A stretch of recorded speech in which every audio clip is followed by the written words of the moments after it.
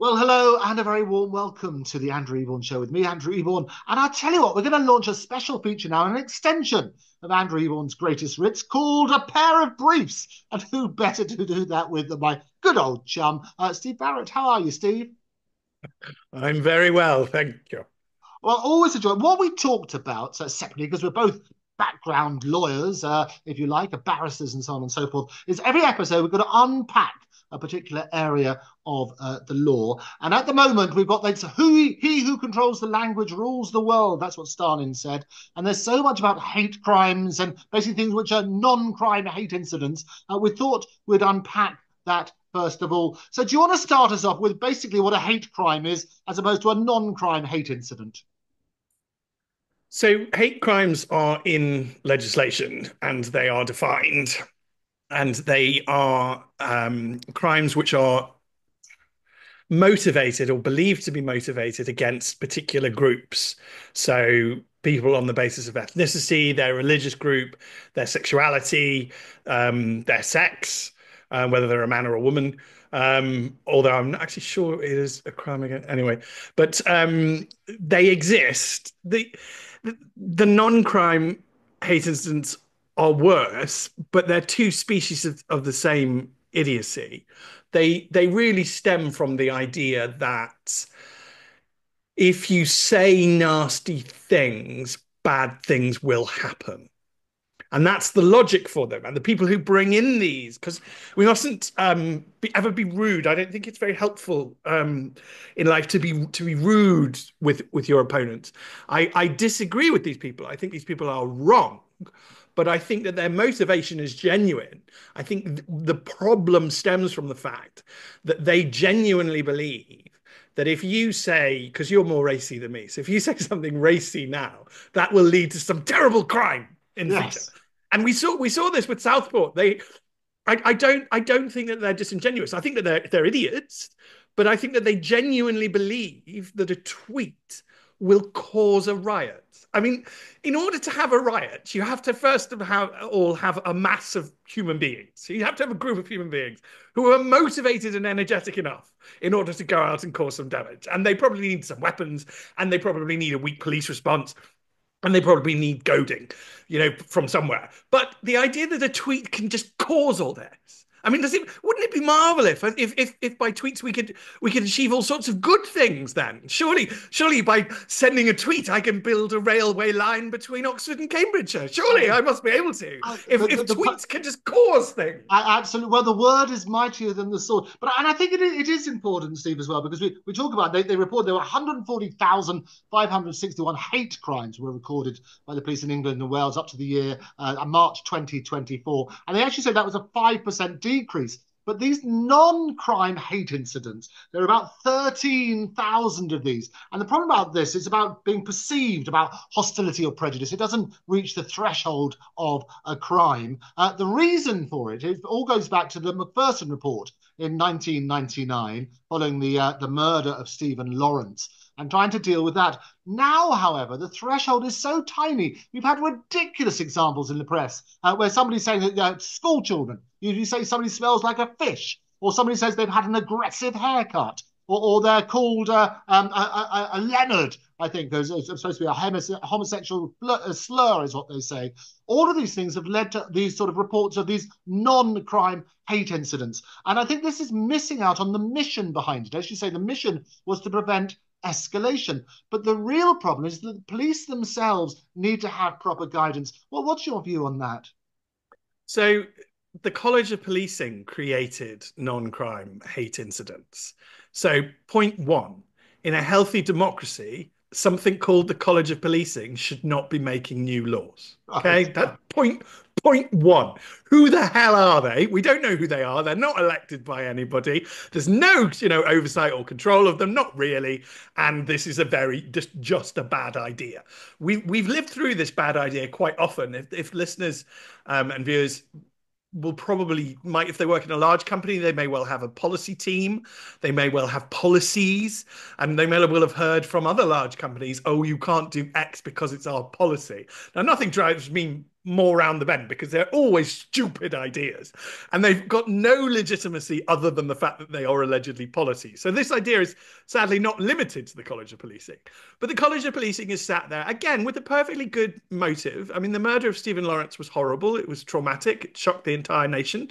Um, I always uh, like to remember um, remember that, and, and and we should point that out. And they don't they don't want racism. Well, good. I don't want racism either. You know, and racism is inherently stupid, which it is. Of course, it is. It's, it's irrational. It's mad. Um, and so they they have these good motives, but then they sit there in their little presumably team meetings or bonding exercises as the College of Policing, and all of these rather um, similarly minded um, individuals convince themselves that they need to create non-crime hate incidents in order to that's what will defeat racism.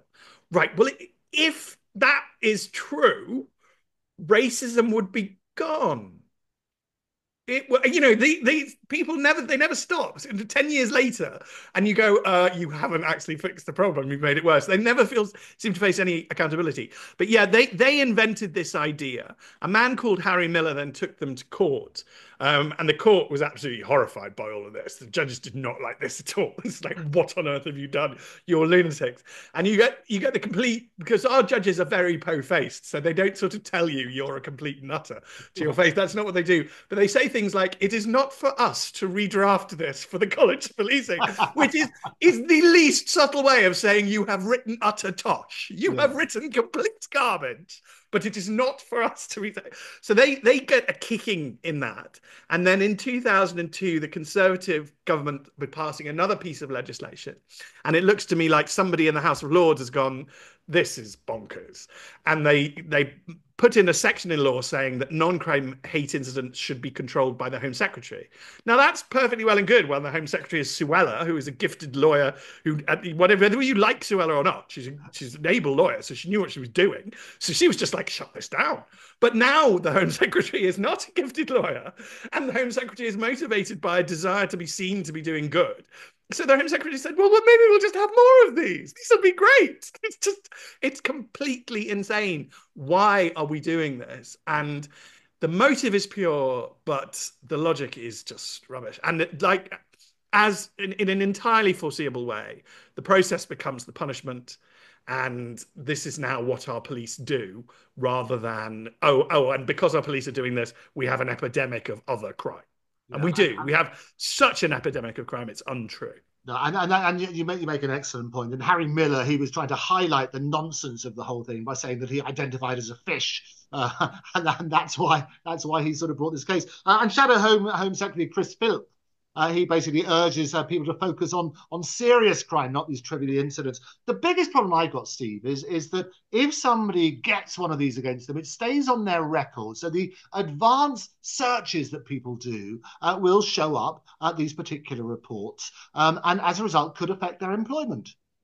Yes, and that's why having them on children is particularly stupid because we need children to be educated, go and get jobs and pay tax. We do not need children to be educated, grow up, and then be told, oh, sorry, you called someone Leonard once, therefore we can't employ you.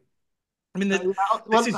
It, it is great. I mean, even the DPP, Stephen Parkinson, he, he admitted confusion over the definition and handling. And I think so. The police officers, uh, the general plot on, on the streets, um, they all say, look, we're just doing what we're told to do, and we've got to investigate all these things. Um, so we can't spend all our time investigating serious crime, but we get muddled up with this. And they had the same problem in Scotland, didn't they? Uh, when they first talked about uh, uh the police came out and said, we're going to investigate every single allegation. And J.K. Rowling, as in bowling, uh, wisely came out and, and basically said, "Well, arrest me first. Well, I think the problem is in Scotland, they just everybody reported the first minister. So it's just it was absolutely, and it, it, it is the same problem everywhere because everybody's trying to police hate at the same time. It's almost as though we're all controlled by communists at the same time. But um, the simple fact is, you cannot, as you well know, you cannot do it. You cannot police emotions, and it just it just doesn't work. And um, the DPP got criticised for not knowing about these things. But I think actually let's let's help. And I just a full disclosure, I don't actually can't actually remember the name of the DPP. I don't genuinely like generally like uh, criminal lawyers. I, I, tend to tend to be a bit sniffy about them. But um, but let's throw him a bone and be kind to him. Yes in my type of law, I know all about the stuff that's happening in cases involving tens of millions of pounds because that's what I'm doing. I don't really know what's going on in small value cases and what the rules are and what's going on, you know, how the courts approach them, what they do, because they, I'm too expensive. So I'm just not that. The DPP should be dealing with horrendous murders, terrible sex crimes, you know, child, awful things happening to children. And he's not going to be dealing with non crime hate incidents. That no. it falls all the way down to, to basic plot. And that, that is the problem that this is given basic plot the uh, dangerous position of having to work all of this out on their own, which is, I mean, that must be pretty scary. I, am not sure I'd want to look at this and go, what the hell am I supposed to do? Right. Um, could you give me some guidance? Oh, no, just go fix it. Oh, and and it, it allows people to abuse it and it's very clear that, that this is being abused it's very clear that there are people in our world who want to abuse these systems i often think that the last 30 years are characterized by us almost acting as though everybody is morally good. And that strikes me as utterly stupid, given that we know. I mean, I'm good. You're you're good. You're good. But but that doesn't mean everybody is good. It certainly doesn't mean every barrister is good. It doesn't mean every doctor is good. You know, there are bad and wrong all left, right, and centre. You know, they, we cannot design a country that assumes everybody's just super lovely. It, it, it it's not going to work. and, it, I, I, and if, if, freedom of speech means anything, I mean, it's the right to offend. And I, I and this is the real problem. I, I do a lot of work in, uh, on comedy shows as well, and comedians are so scared of what they're allowed to say now. And, and, I say it's uh, uh, you, you've got to work on that basis. And, and over in America, they're laughing at us. Uh, Elon Musk, I have his father Errol on my show virtually every day, and he was saying, "Look, uh, they're looking over here. They talk about they have free speech in America, uh, and here it is: you get put in jail if you if, if you express what you had to do." Um, the great thing about this, we're going to come back on a regular basis. We're going to unpack these sort of topics. If people are interested, there's a particular topic you'd like uh, the pair of briefs to have a look at, uh, do get in touch. How can they get in touch with you, Steve? Uh, they can tweet me and DM me um, I I'm going to let you deal with most of this. so, okay. so, they should get in touch with you. You can contact me then. Contact me. It's easy at Andrew Eborn at Octopus TV. Do it via tweet. And we'll get you on the show. Whatever you want to talk about, we're happy to talk about it. Uh, Steve, for now, thank you very much for joining me. Thank you. Take care.